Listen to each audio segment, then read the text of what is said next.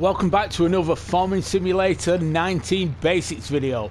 I'm Nick and I'm doing a Farming Simulator 19 beginner guide for all you people who have just got the game on PlayStation Plus and you may be wondering how to do one or two different things. So today we're talking about the sheep.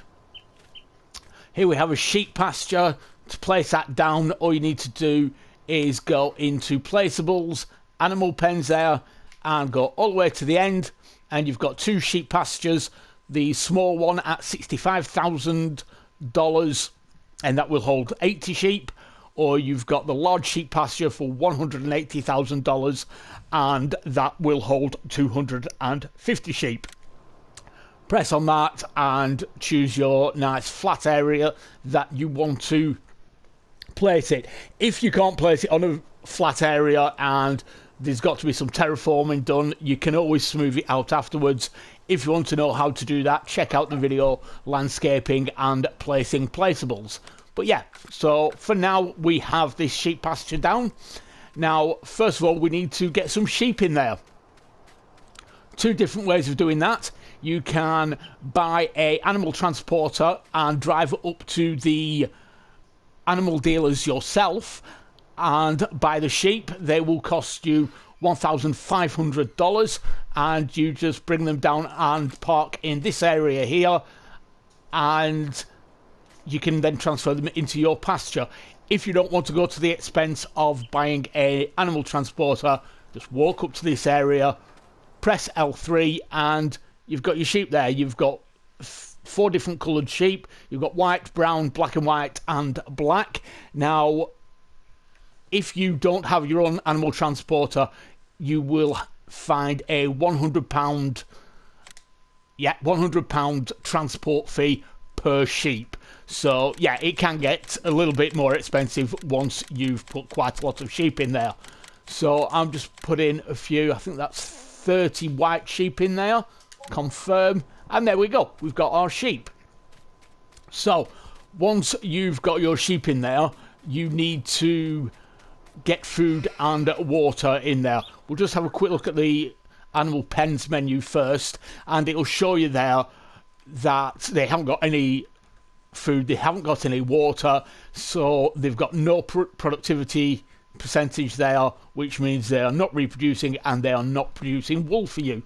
So, how to remedy that? We've got a water tanker here. Now, I've just placed this water storage. It costs $5,000. It's in placeables, miscellaneous, and you can just place it anywhere you want on your own land if you're not next to a water source. And there you go. Drive up to it with a water tanker, press L3 to start filling, and you've got your water in there. You can drive to the water trough there R1 triangle, and there you go. It's got water in the sheep pasture now, so they've got something to drink. For the food, they eat either grass or hay. You can use bales or you can use loose grass and hay. If you're using loose, you'd want to mow the grass and using a loading wagon pick it up drive up to the area and you'll get the, the prompt R1 and triangle to to put it in there. But for this example I've got bales. You can either make the bales yourself or buy them from the shop. And there we go. The sheep have now got some food. Might not take all of these. I don't know if they no I don't think that last one's going to go yeah, there, there isn't enough sheep to take all of it just yet. So I'll get that out of the way. So that's the food and water covered. Now, for them to have a good reproduction rate and also producing wool, you need to keep the food area clean and tidy. Now, as they eat, they will make a mess of that food area. I just need to speed time up a little bit so that, yeah, they, they're going to make a bit of a mess there as they're eating. There's probably, yeah, there, there's a few different ways of keeping the area clean and tidy. This first one I'm going to show you is using the bucket on the front of the telehandler.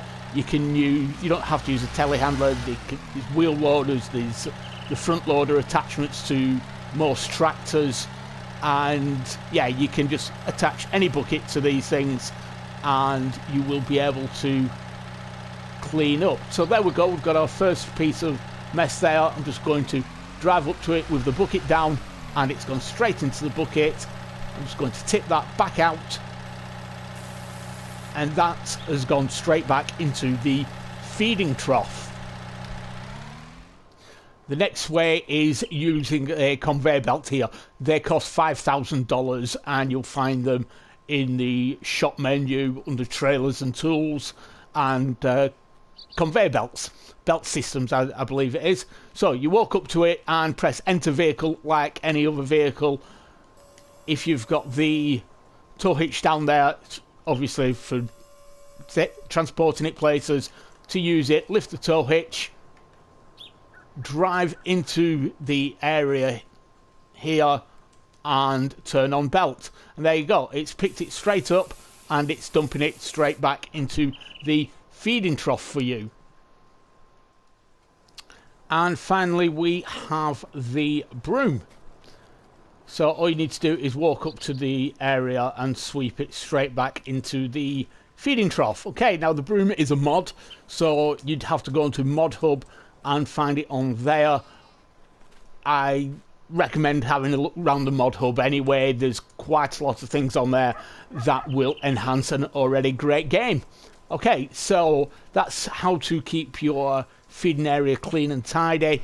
By keeping it clean and tidy, you keep the reproduction rate up and also the production rate of the wool. Now, the wool will appear here and you've got these bales of wool. They are 250 litres each, and you will get four in one of these pallets. So, yeah, if you're on normal economy settings, then the wool pallets usually sell for around a thousand dollars. A thousand dollars per thousand litres. So there you go. Obviously, if you're on hard, it will be less than that. If you're on easy, it will be more than that and that is your wool and you sell it at the spinnery. Now, the other way of making money with the sheep is by breeding them. Okay, so they obviously we've said they've got the reproduction rate. Now we've got 30 sheep in there, they're reproducing every 32 hours. The more sheep you have, the faster the reproduction rate. The fastest they will reproduce is every four hours, but you've got to have a nearly full pen to get that. If you do have a completely full pen, if you've got the 250 sheep in there, they will stop reproducing. So when you're getting, once you've got up to the four hours reproduction rate, but before the animal pen is full, you want to start selling the sheep off to start making your money. Now, as we've said, they cost 1,500 to buy. To sell them, you will sell them for $1,000. Obviously, if you've got your animal transporter, you take them up to the animal dealership. If you don't, then you still have to pay that $100 transport fee again.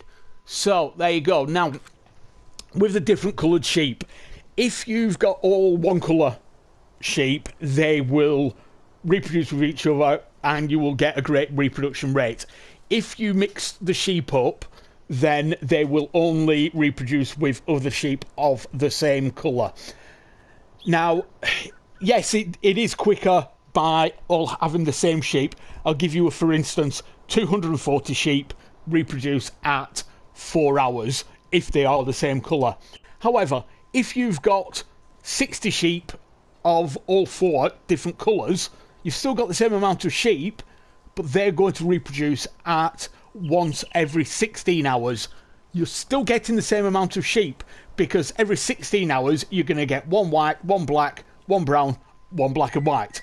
Whereas if you had all brown, for instance, you're going to get one brown every four hours. So, like I say, it's the same amount of sheep, but it just works differently.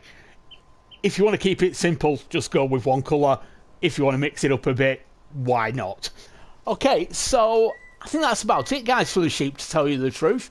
They're nice and simple, they're quite easy to look after, easy to feed, and yeah, they do bring in a bit of money for you.